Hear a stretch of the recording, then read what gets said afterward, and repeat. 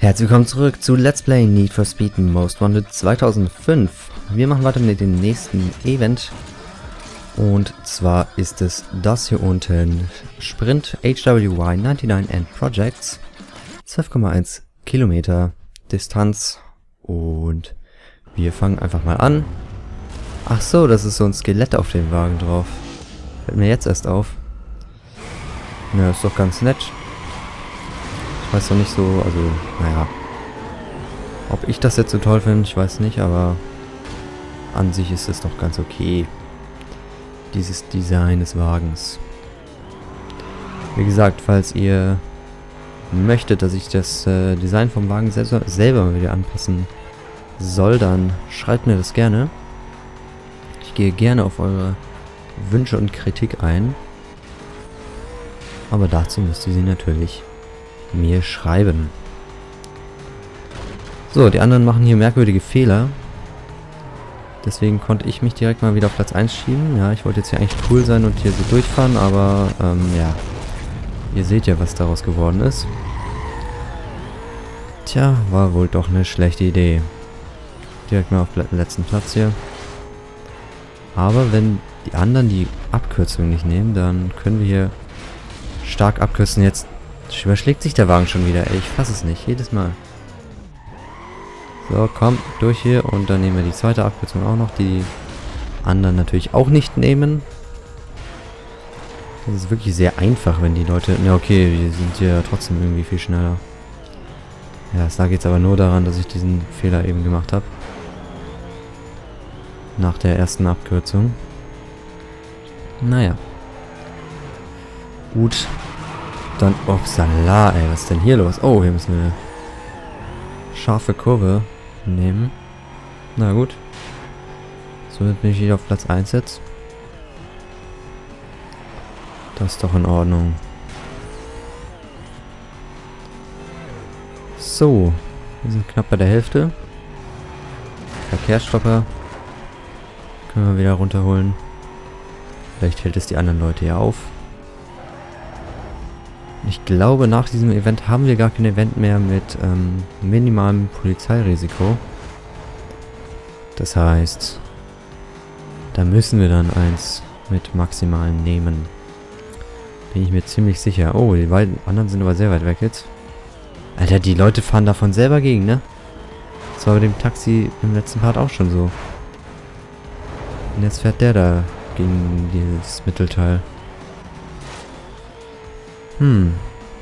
Die Leute haben wohl leichte Probleme an dieser Stelle. Anders kann ich mir das nicht erklären.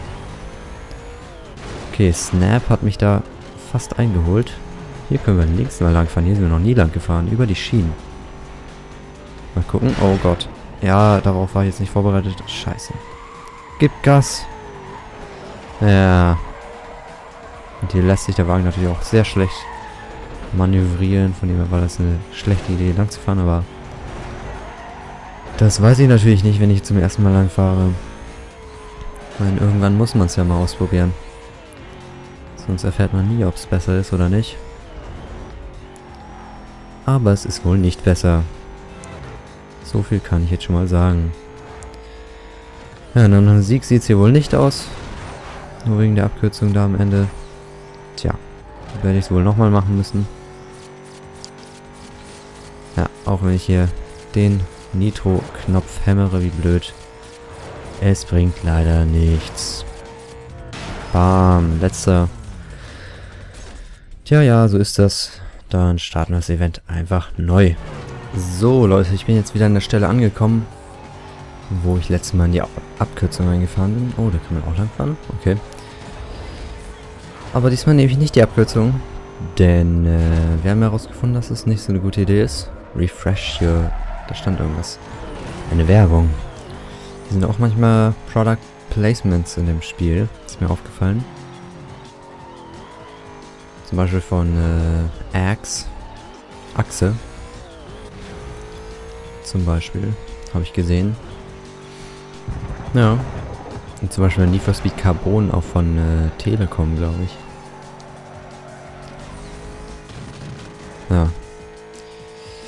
Ganz interessant, aber bei Grid 2 zum Beispiel ist ja alles nur zu mit Product Placements zugekleistert.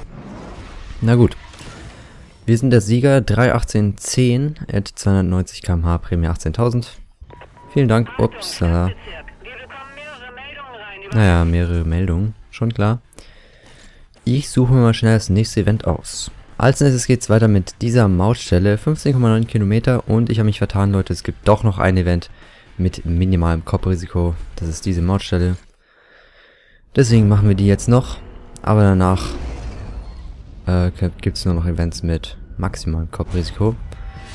Oder eben Rundkurse beziehungsweise ähm, was war das andere? KO-Events, genau.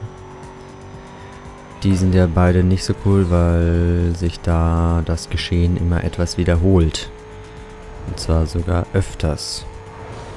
Sprich die Strecke, die man fährt. Ups, da lenken, ja. Ja, deswegen mag ich diese Events nicht so sehr. Aber man muss sie auch nicht fahren, denn es gibt ja genug andere Events, die man fahren kann. Man kriegt dann auch noch genug ja, Events zusammen, die man eben braucht. Sind überhaupt schon mal hier ein Event auf dieser Autobahn gefahren? Das finde ich ja ziemlich cool gerade irgendwie.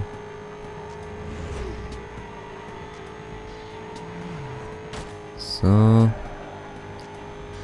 Über den Highway 2 Oval. Wie wir es ja von der Polizei erfahren haben. 2 Oval heißt der. Da vorne haben wir die nächste Mautstelle. Haben wir noch genug Zeit. Ja, jetzt wäre es vielleicht besser gewesen, hier links lang zu fahren, denn da ist der Weg ein bisschen kürzer, aber so geht's auch. Ja, immer schön die Absperrungen an den Seiten, damit man auch nicht woanders lang fahren kann.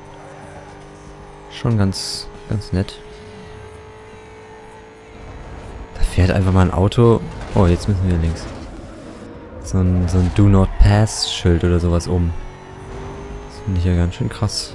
Warum tun die Verkehrsautos sowas?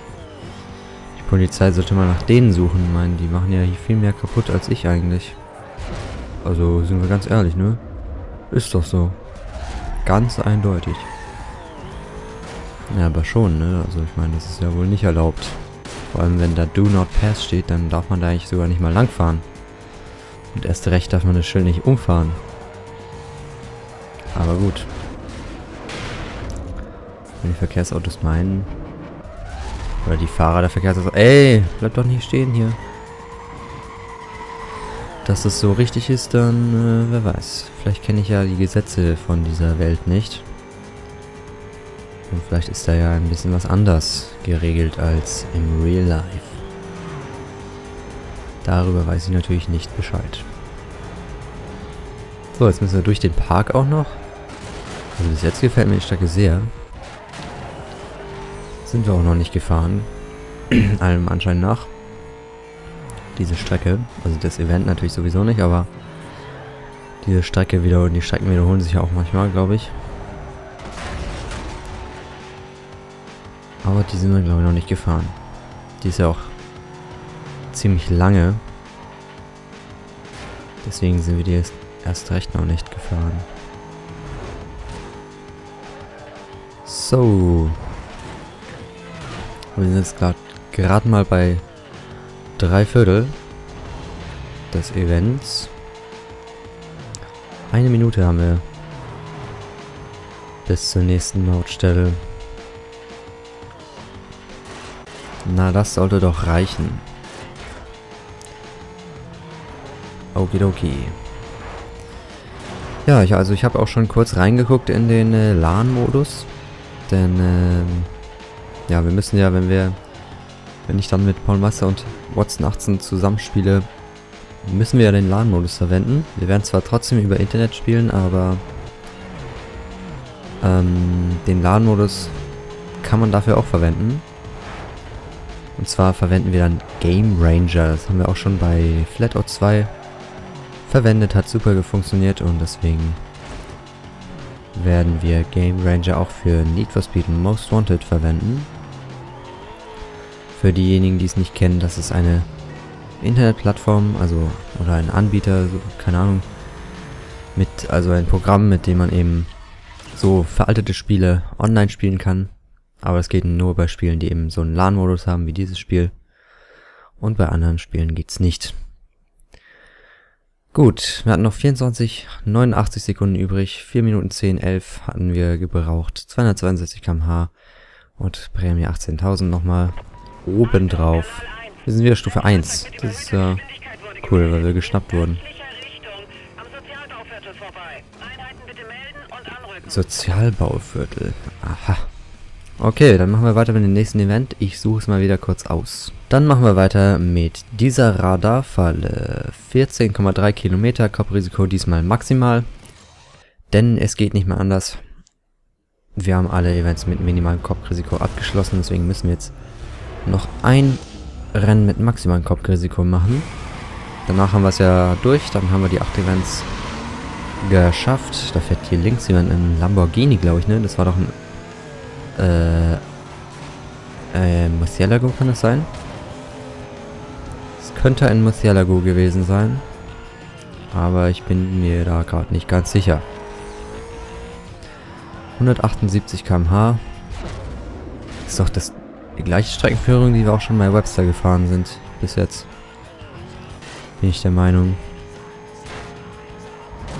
Okay. Na gut. Wenn ihr meint, liebe Entwickler. Ah, jetzt ist es aber hier ein bisschen woanders, der, die Radarfalle. Die war vorher da ein bisschen weiter hinten. Das weiß ich noch. Okay, da kommt schon gleich die nächste. Hier.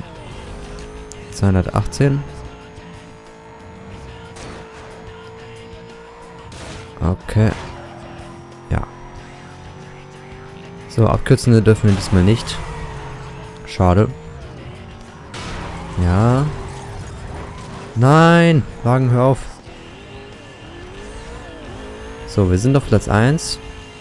Haben jetzt nochmal 235 km/h obendrauf auf unsere Summe erhalten. Ist schon mal ganz gut, denke ich mal. Ich mache hier irgendwelche fiesen Matenten hier. Okay, jetzt überholen sie mich, aber... Ja, das soll mich nicht stören, solange... Ach, du Scheiße. Ja. 127 ist jetzt natürlich nicht so gut. Naja.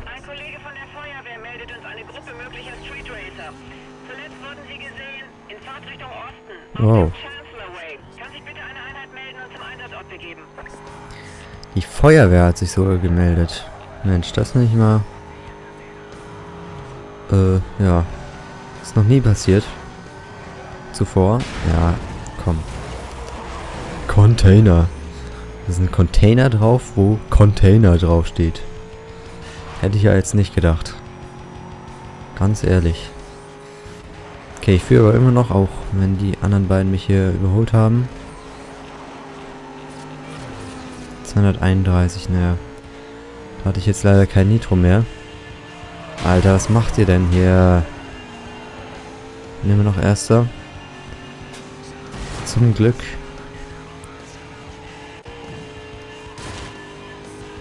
So. Wir sind bei 60%.